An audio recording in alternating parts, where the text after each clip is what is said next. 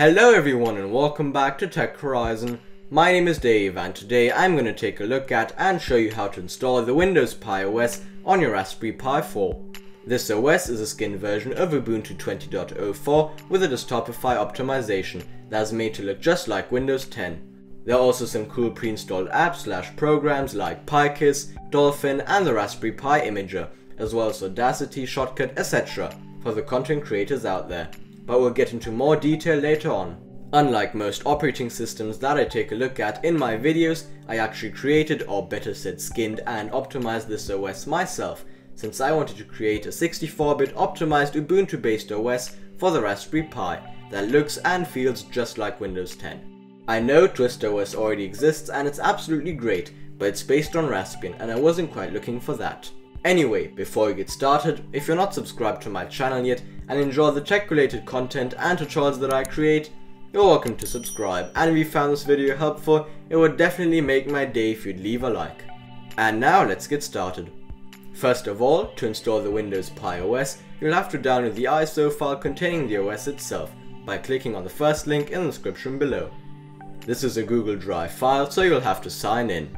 Click download and download again. While it's downloading, go ahead and install an SD card flasher.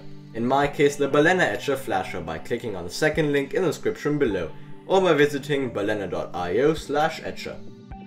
Once you've downloaded and installed both, you'll have to extract the image. You can either use WinRAR or 7-zip to do this.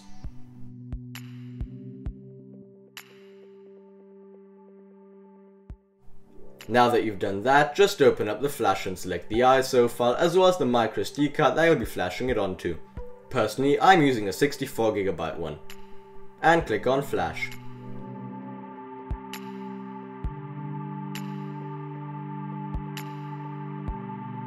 As soon as it's done flashing, remove the microSD card from your PC and plug it into your Pi. Just give it some time to boot. After that, you'll be asked to log in. The username is Tech Horizon and the password is Windows Pi OS. You can always change the username and password later on.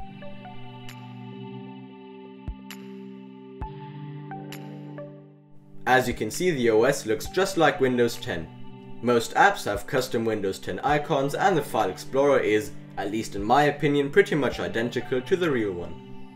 Like I mentioned earlier, this OS is actually just a skin version of 64-bit Ubuntu 20.04 with a Desktopify optimization and some cool apps and programs.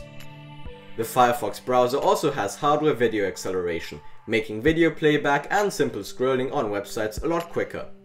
Unfortunately, there's no Widevine DRM built in and no Chromium Media web browser, so you won't be able to watch any Netflix on this OS. Nevertheless, there are still a couple of cool apps available, like PiKiss, Kodi, the Dolphin emulator, a couple of games like Minecraft, and some handy tools like the Raspberry Pi Imager and the PuTTY SSH client. In terms of programming and coding apps, there's the Arduino app, the Bluefish editor, and Geany. Apart from that, there are also some apps like Audacity, a couple of different screen recorders, and the Shotcut video editor, which should be especially useful for the content creators out there. But other than that, that will be it for today. I hope you enjoyed the video and liked the OS. If you found this video helpful, make sure to leave a like, and if you want to see straight to the point tech related videos and tutorials just like this in the future, you're welcome to subscribe. See you in the next one.